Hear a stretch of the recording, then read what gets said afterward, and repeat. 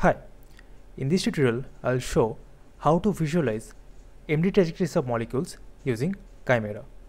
So this is a small organic molecule and we have performed the simulation using Amber. So uh, this is a trajectory file that has been generated using Amber and uh, this is the topology file. So we have already stripped out the water molecules using CPP Okay, now we'll open these two files in Chimera.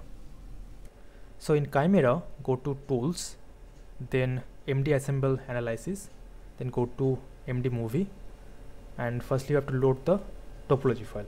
Okay, so um, this is a topology file, and set input location, and uh, we have to add the trajectory file now,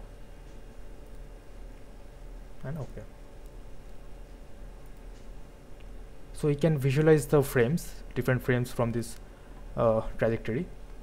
Now we can also uh, save a particular frame. Suppose I want to save the 100th frame. We can go to file and say PDB so we can give a name like 100 and save it